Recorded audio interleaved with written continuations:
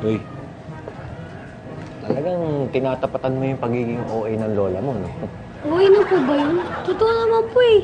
Dami naman po talagang tao. TJ, ang tawag dyan, word of mouth. Siguro, nasasarapan sila sa pagkain ng mga apple pie natin dito. Kaya yun, pinagkakalat sa mga barkada nila. Kaya marami pumupunta dito. Sigurado po ba kayo na apple pa yung pinunta nila dito? Hmm? Excuse me, anong order nyo? Ah, ikaw, anong order mo? Ikaw? Ay, nako, eh, ka- kaya naman pala ayaw nila mag-order sa akin dahil gusto nila sa'yo. Ayan na. Ganda mo kasi. Sige na. Go na! Work it, girl! Thank you for coming, sir. Ah, nagustuhan niyo ho ba yung mga apple pie namin? Oo, kaya masarap. Lalo na yung ampalaya flavor. Gusto tayo kumakain ng ampalaya dahil sa pain nyo.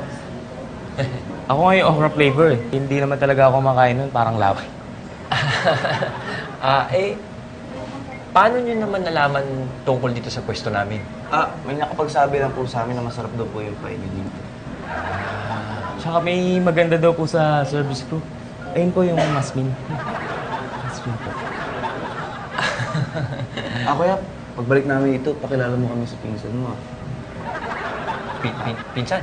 Oh, Ah, di mo makachempo kanina eh. ah, si- si- sino naman nagsabi sa pinsan ko yun? Ah, yung sexy ni Lola po. Ah, kasi sabi niya daw po kasi pamangkin ka daw niya po. Just anak niya po si Yasmin. Ah, okay. o sige. Ah, oh, sige ho, sir. Eh, mauna na kayo dahil ah, gabi na eh.